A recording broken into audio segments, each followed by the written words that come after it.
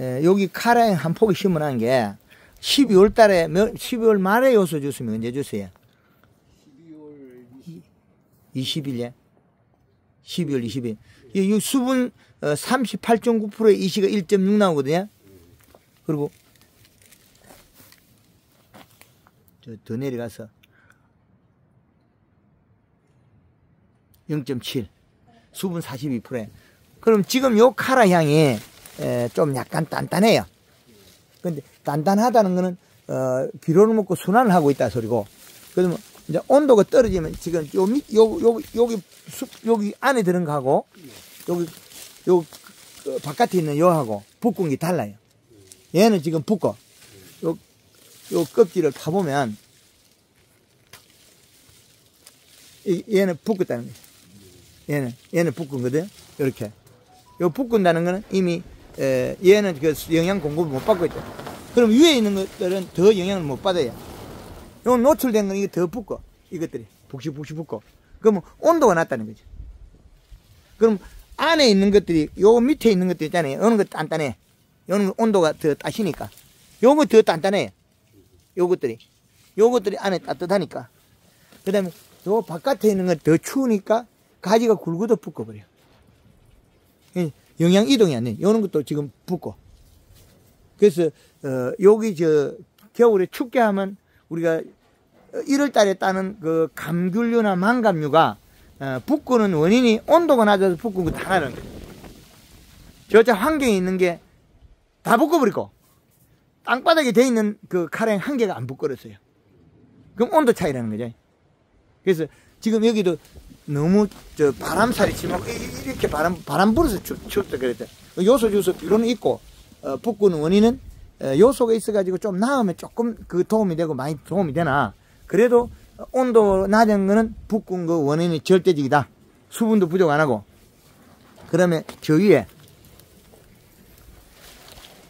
요 위에 보면, 저 배꼽이 튀어나온 놈 있잖아요. 저거는 뭐냐면, 여름에 더워서 저래. 세포가 굳어가지고, 우리가 밀감, 그, 그 한라봉 같은 게, 그, 저 쭈글쭈글한 거 있잖아요. 거북등처럼. 그 원인이 저겁니다. 에, 고온, 고온 열상으로서 세포가 굳어서 못 자란 거죠. 요, 요 원인이. 이, 이게 된 원인이 저, 저 원인이다. 그러면, 어, 여기, 저, 거기만 있냐면, 그게 다 아니다. 어, 이 상부에서, 어, 열받은 것들은 요것도 있죠. 요것도 가리 가다 고온 열상이라는 거죠. 여름에 더워서. 가리 가다 고온열상. 그러면 여기서 못 커가지고, 어, 세포가 좀 문제가 있다는 거죠. 요게 저, 이렇게 가리, 그, 가리 가다 고온열상 된 게 이렇게 크면, 이래, 엉거리미가 쪼개져 버려요. 엉거림이 가서. 하여튼, 오늘, 어, 설 뒷날인데도, 어, 2024년 어, 2월 11일 설 뒷날인데도 우리 대표님이 저희야 제주도 들어갔다마는 집에 안 쉬고 이 밭에 나와주셔서 상당히 고맙습니다. 특별히 제가 갈 데도 없었는데 여기도 보면 여기 보면 약간 얼룩얼룩하니 그, 그, 저, 여기, 여기 잘못되고 있죠. 네. 여기 이게 쪼개지는 주원인입니다. 여기 세포가 늘어지면 여기 깨져, 요 사이. 그래서 지금, 어, 요, 여기 잘못된 것도 여름 더워서 그렇다. 여기도. 더워서 고온열상으로서 세포가 굳어서 그렇다. 요런 것들도, 어, 쭈국쭈국 하고 있는데, 에, 세포가 잘못되고 있잖아요. 그래서 이것도 가리가 다 고온열상이다. 하여튼, 요 놈들도 그렇고, 여기에 보면, 어, 여기 포기도, 어, 비료를 줬지만은, 어, 그래도 요것도 비료량이 적고, 어, 여기 보면, 어, 요거는 저, 어, 레드향이 지금 이파리가 노랑노랑하게 가리 가다가 참 많잖아요. 그럼 이쪽이가 많이 쪼개 있대, 여름에. 열과 인생 많하고 적과도 많이 해가지고 바닥에 보면 밀감들이 땅, 땅 있다는 거죠. 열과들이. 그럼 여기에 저 가리 가다가 더 심하다는 거죠. 열과가 더 많이 일어난다. 그래서 이제, 어, 열과 안 일어나는 조건으로서, 어, 저, 저, 안정적으로 이제 되어가는 그 환경은 되나, 어, 우리가 그, 이 땅이, 에, 다른 집 땅하고 다른 거는, 어, 이게 그 깊게까지 척정, 척정이 쑥쑥 들어간다는 거, 땅바닥이. 이 꽁꽁 울려. 밑에 자갈이 없으면 들어가는 거 예? 자갈이 없어. 예. 꽁꽁 울려, 이게. 푹 치는 소리 나잖아, 이게. 예.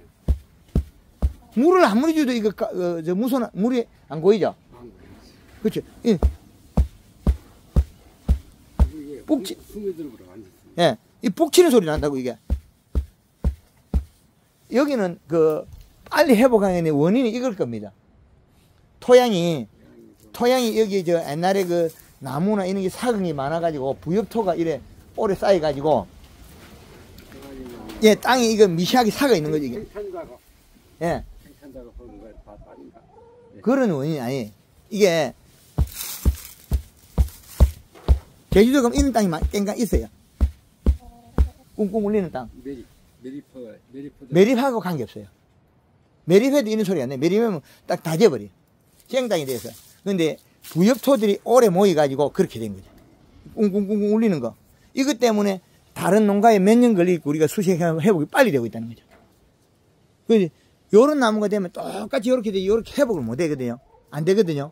근데 이렇게 나무 회복하는 나무는 지금 많이 늘어나고 있던 거 빠르게, 급속도로. 그래서 여기는 어, 올해는 어, 더 빨리 회복해서 어, 가리 가다 고온 열상이 풀리겠다. 그리고 어, 겨울 온도를 낮추면 레대항 수확 전에 온도를 더 올려라. 30도 이상 끌어올리가 수확해야 된다. 그래야만이 에, 그저 저 무게가 늘어나고 부, 부피가 없다. 예, 그렇게 보면 되겠습니다.